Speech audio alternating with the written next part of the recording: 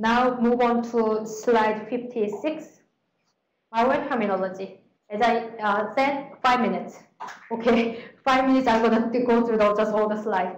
So you know the you heard the, the terminology the virus and worm and the difference between the virus worm in general. Say virus cannot replicate itself, but worm, worm it can, and it can just run by itself. But virus it just does need some other application help to start. That's in general the difference. And slide 58 is what's between Trojan and uh, uh, backdoor. So Trojan is something software that uh, mimic some mimic something else. For example, you are not the calculator, but you know maybe the malware just act like a calculator, but actually reality is not. But there's the uh, Trojan, and type of backdoor malware is something that actually open some like a ports, some open some way a door for the actual control to comes into your infected machine. So that malware is uh, called backdoor type, and bot and uh, rat. What's the difference? Have you heard the bot? Botnet, right? Bot usually. So it is uh, the bot itself is called as some kind of zombie type of you know, software. You actually infect all the machines, but basically do nothing until the controller talks uh, talk to you to do something. That's the bot. And the and then the rat rat is it is usually more uh, uh, targeted attack. It's used as a targeted attack. So in case of a rat uh, malware, the controller actually can connect to it and then see your machine in more detail. But on the other bot, bot usually just listen for some command and do some massive you know destruction. That's the difference. And the downloader and the dropper, the difference is downloader case is malware downloader it actually go you know, outside of some uh, URL and actually grab some other uh, malicious code and download it. That's a download downloader. And dropper is what is different from dropper and downloader is downloader is dropper case usually it includes some other executable inside itself PE file. That's the dropper. And just term, spyware is something that steals your information, and adware just uh, mainly for advertisement. And ransomware is something, some uh, malware that encrypt your entire disk and ask for the ransom. Any questions? Uh, how do you define rootkit? Is that under remote administrator tool or? Rootkit, good question. It can be multiple, but rootkit usually definition, the malware that has some advanced uh, technique to hide itself. That's in general uh, definition of rootkit.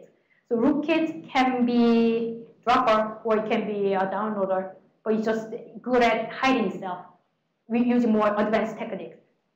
Does that make sense? So, so okay.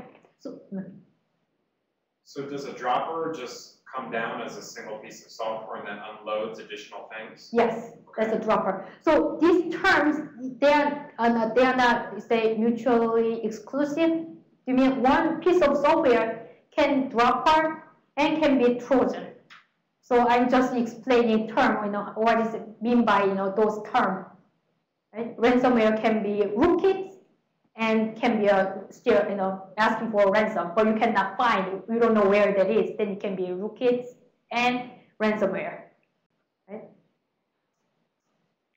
All right, less than five minutes probably. So, all right, so just wanted to still mention it about the, some terminologies and the vendor naming convention. Have you seen the, uh, you know, the, this virus called some this, but some other company called different way, right? So usually the other, actually is the next slide, but I'll explain that one later. But this one is one of the example, oh, you here, okay, one of the example.